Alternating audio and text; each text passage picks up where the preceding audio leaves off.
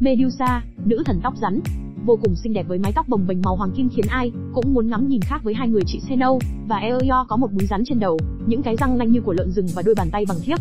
Hai cô chị được bất tử còn Medusa thì không cô có thể già đi và chết giống con người.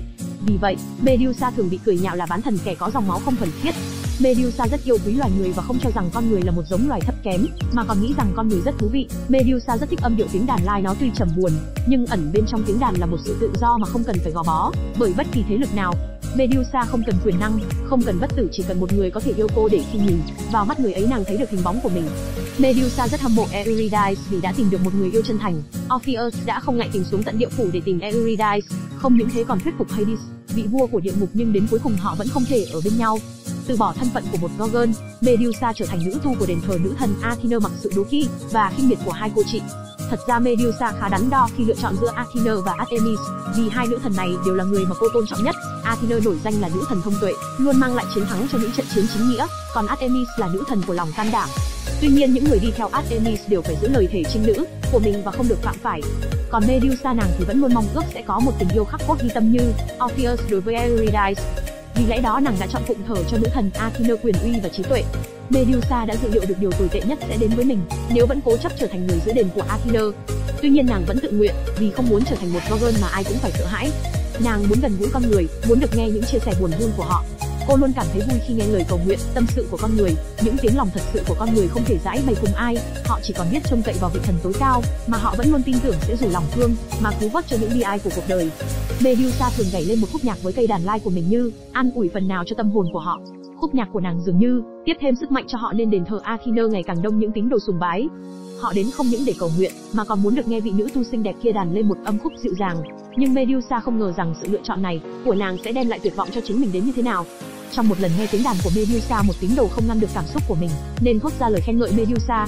Nàng còn xinh đẹp và dịu dàng hơn cả nữ thần Athena nữa, như được mở lối, những tín đồ phía sau cũng không hết tiếng khen ngợi, ngoài ra họ còn dành cho nàng ánh mắt kính ngưỡng hơn là đối với vị nữ thần trên cao kia nữa. Medusa vẫn can ngăn những lời khen ngợi của các tín đồ vì cho rằng điều này sẽ xúc phạm đến nữ thần nhưng thật ra trong thâm tâm nàng rất hạnh phúc, vì cuối cùng con người cũng đã chấp nhận một Gorgon như nàng. Và cứ như thế tin đồn ngày càng vang xa, những tín đồ của đền thờ Athena ngày một đông, tuy nhiên mục đích của họ không còn như lúc trước chỉ đơn thuần là đến cầu nguyện nữ thần ban phúc. Những lời khen ngợi vô tình mang hàm ý so sánh với nữ thần Athena của những tín đồ không may đã lọt đến tai vị nữ thần quyền uy. Athena khá tức giận vì những tín đồ của mình đã không còn sùng bái, đã vậy còn rêu rao cái tốt đẹp của Gorgon xấu xí, nhưng Athena không thể trừng phạt Medusa, bằng lý do đó sẽ khiến những tín đồ kia mất lòng tin nơi thần linh, còn nếu buông tha Medusa khi chẳng còn mặt mũi khi đối diện với các vị thần khác trên đỉnh Olympus. Những ánh mắt mang dáng vẻ cợt nhả cùng khinh thường của những vị thần khác làm Athena thấy khó chịu. Athena nổi tiếng là vị thần có trí tuệ chưa việt được nhiều tín đồ sùng bái, mà nay lại bị đánh bại bởi một Gorgon. Nỗi nhục này làm sao nàng có thể nuốt trôi? Athena càng tỏ ra căm tức Medusa và thề với lòng rằng sẽ bắt Medusa gánh chịu nỗi nhục này gấp vạn lần. Athena sai bảo Medusa đến bờ sông để lấy nước, cô vui vẻ làm theo sự sai bảo của nữ thần mà không hề có ý nghi ngờ nào.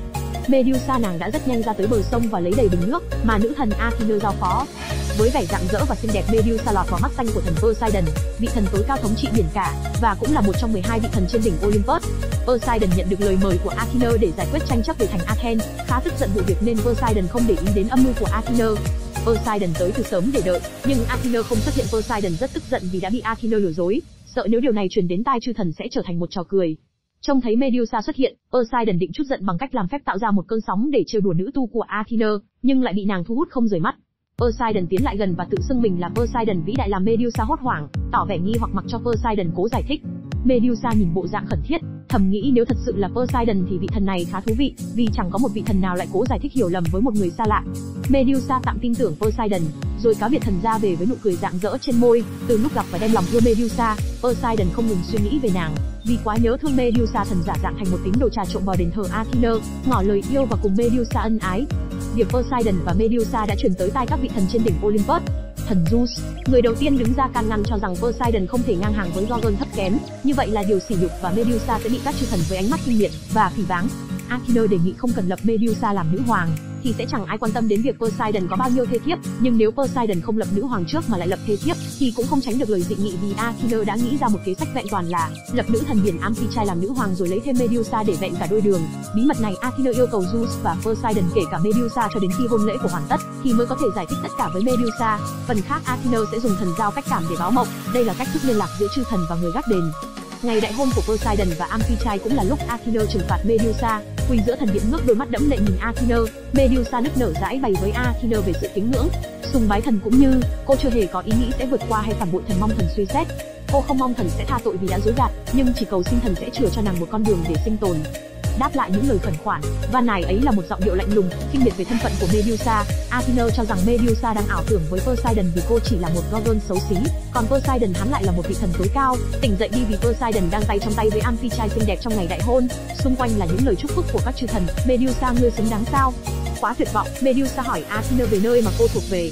Athena trả lời là bất cứ nơi nào rừng sâu, hang động nhưng tuyệt đối không phải nơi này và đã đến lúc mọi thứ phải trở về với trật tự ban đầu của nó. Athena không ban cho Medusa cái chết để kết thúc đi cái sinh mệnh hữu hạn của cô, mà biến Medusa thành Gorgon với hàng trăm con rắn độc lúc nhúc trên đầu, móng tay cũng dày và cứng hơn, làn da đầy những vảy sừng khiến Medusa sống không bằng chết. Không những thế, Athena còn loan tin cho loài người để bọn họ tìm đến Medusa tiêu diệt một quái vật. Athena thừa biết Medusa sẽ không làm hại họ, nên cô ta mới đặc biệt ban tặng thêm một khả năng phi thường khác cho nàng, để khiến những ai khi nhìn vào mắt nàng đều sẽ trở thành một bức điêu khắc. Medusa trở thành nữ quỷ khủng khiếp nhất, chẳng còn ai dám đến gần Medusa. Nhưng Medusa không bao giờ làm hại phụ nữ.